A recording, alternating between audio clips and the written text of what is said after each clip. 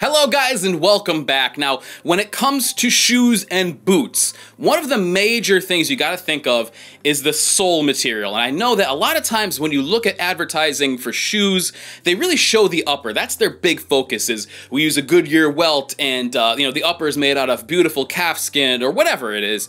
And uh, they don't really they don't go into too much detail usually about the sole. Now, there's kind of a reason for that. It's not very sexy. It's not the part that people see. However, it might be one of the most important parts of the shoe. For example, you're really not going to want to get a flat-soled shoe if you need traction. And if you remember a few months back, I did a video about this where I didn't want to use my Red Wing Iron Rangers because they had a flat sole. I needed something with a little bit more traction. So I ended up going into a few different options in that video, but one of the things to consider is the sole, so I'm going to give you kind of a rundown of the ones that I have an example of. Of course, this is not everyone that's available. There are many other soles out there, probably countless variations on the same type of thing, but we can easily break them down into one of two categories. These categories are leather soles and rubber soles. Now, within each, you have many, many variations, as I mentioned. Now, let's start with one of the ones that you're probably most familiar with, and that is the classic leather sole. This right here, this is an Alden shoe, and as you can tell, the sole is painted black.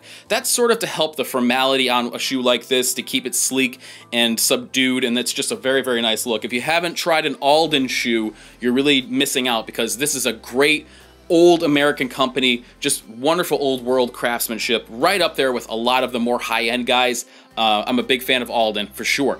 Now, when it comes to leather soles, there's usually single and double stacked. With double, of course, you add you get a little bit more durability but with the single you get a sleeker look. So if what you're after is a really low profile shoe, maybe like an Italian type of look, you want to go with a single. And, you know, there's not a lot of companies that offer a double leather sole. I know that Allen Edmonds does offer them on some of their models. You get a little bit more longevity and a little bit more durability out of those. Now, another type of leather sole is the butyl, which is kind of oil infused. This is mostly for water repellency, a little bit more weatherproof, and you're really not going to get what you would get out of a rubber sole with leather, but it does help you kind of just keep the elements at bay for a little while longer. Now, another step toward traction and durability is the hybrid leather rubber sole, and there's a lot of variations on this. This one right here, as a matter of fact, I, I ended up doing myself. Uh, I, well, I sent it out to have it done. I didn't just sit down in a workshop and do it, but they put these in here. I believe these are called Sole Savers, and the idea is that they give you a very thin strip of rubber here just to help you not like carpet surf in the beginning,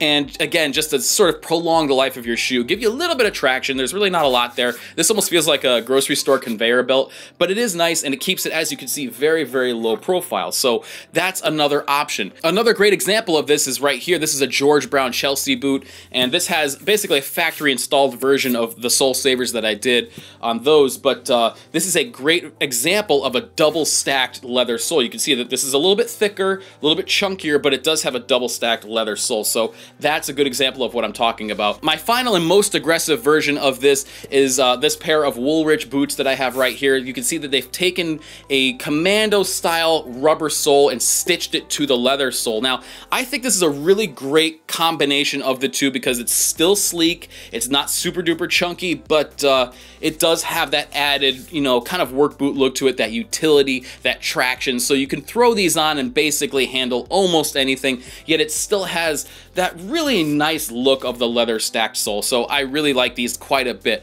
That would conclude all of the different variations that I own of leather soles. Now the other type of sole, which I'm sure you've been wearing since you were even able to wear shoes, is the rubber sole. Now this comes in a lot of different variations. I have a bunch here in front of me, so I want to show them to you.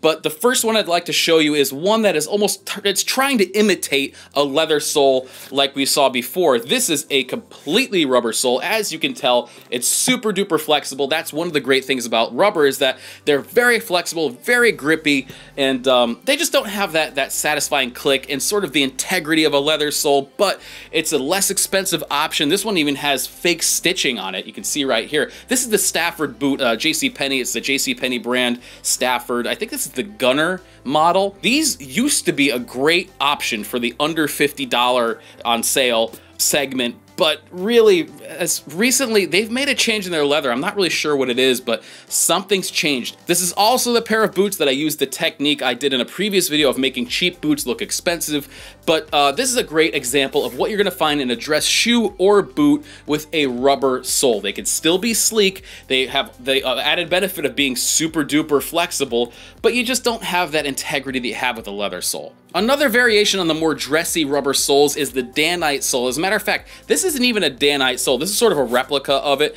This is my pair of Thursday boots, Duke Chelsea's. They've been great, and this is an excellent example. One of the, the purposes behind this design is not to pick up dirt and mud and track it wherever you are, because this is relatively flat. It doesn't really hold on to snow, dirt, mud, whatever you just walked through, I don't know. But uh, that's one of the added benefits of the Danite Sole. Again, this is not a true Danite sole, but they basically look the same. Now the idea of not picking up mud and dirt and debris actually originated with work boots where farmers didn't want to track around mud and uh, one of the earliest versions of that kind of sole is the Christy Wedge which you can see right here on this pair of Red Wings. Now if I'm not mistaken I believe that they were the ones to really pioneer that type of sole. As you can see it's not very deep. The lugs on this are not very deep. However it is very grippy. This has a lot of traction. These are my go-to work boots. I love these. They just they get better with age as most good shoes will.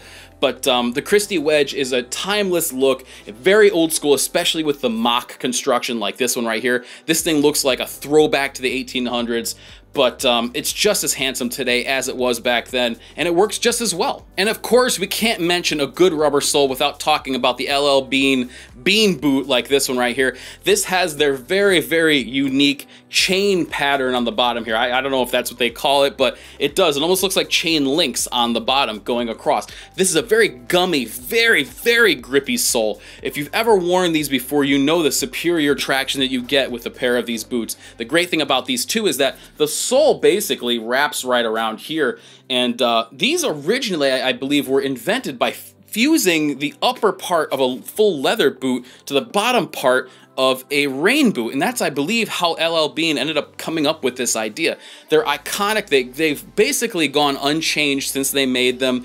They're all still handmade in Maine, USA. These right here, if you live in New England, they, these they're like an obligatory piece of footwear. You have to have a pair of LL Bean boots if you live up here. They're just great for the slushy, nasty weather that we usually have in March or, you know, the transitional type of months. Now, another one that I have, but I can't seem to find them anywhere, is on on my Allen Edmonds long branch, and that's the Commando sole. So if you were to close your eyes and think of a work boot sole, most likely what would pop into your brain is the Commando sole, which looks like this right here. This is the, the same pair of Woolrich boots that I showed you before.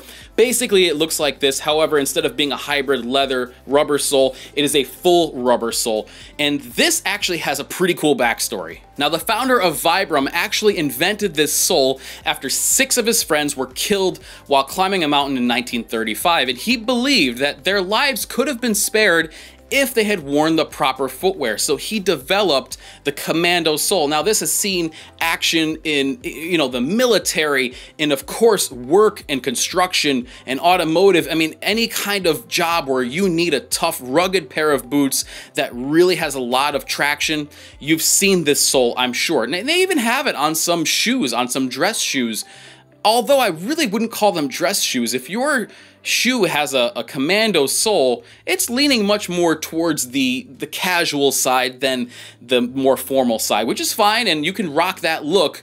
I just always thought it sort of looked like a shoe trying to be a boot, and why not just go with a boot? Now the Red Wing Iron Ranger, which I mentioned before, uses a cork nitrile blend sole. And that's basically when they take little pieces of cork and it's blended with rubber. Now, this does have a lot of traction. However, most of the time when you see this type of sole, it doesn't have any studs in the bottom. It's totally flat. And the idea is that the surface area of that rubber actually has enough traction to get you around. I always thought it was kind of silly to have a nice work boot upper with a bottom, a, a sole that really doesn't have a lot of traction. I want some lugs. I want to be able to do work things in a work boot.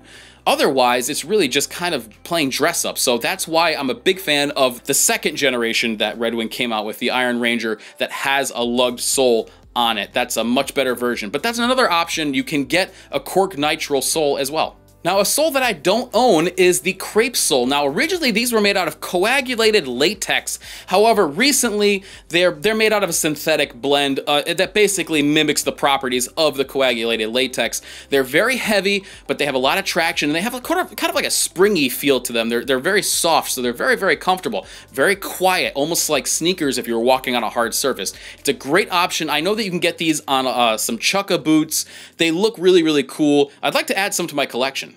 And finally, one that you probably won't see much outside of the reproduction kind of segment is the raw cord sole. Now, these were originally made for the military by melting down old tires, and you can still see the cords in there. So uh, it's a really interesting look. Not a lot of companies make them unless they're making repro military style footwear, but it was a very tough, very durable, and very readily available material during wartime. They were able to take used tires and make them into uh, something that our soldiers could wear. Very, very cool with an interesting history. So if you're somebody who's looking for something a little bit different, you can find examples of these. So guys, I believe that covers most of the types of soles that you will find out there. Remember that the bottom of your shoe is just as important as the top of your shoe, and especially when it comes to slipping, tripping, uh, falling down, you don't want to get hurt out there. And, you know, choosing the right footwear is totally key in that. Now, I didn't cover things like sneakers, like hiking boots, like specialty boots, but when we're talking about style, most of the time, what you're going to find is a variation on one of the ones that I showed you here. However, I'm sure that I forgot one or two, so please let me know in the comments if there's anything that I forgot, and also let me know which one of these is your favorite. Of all the ones that I've shown you today, which one do you see yourself reaching for on a day-to-day -day basis? Thank you so much for watching, guys. I really do appreciate it, and I'll see you next time.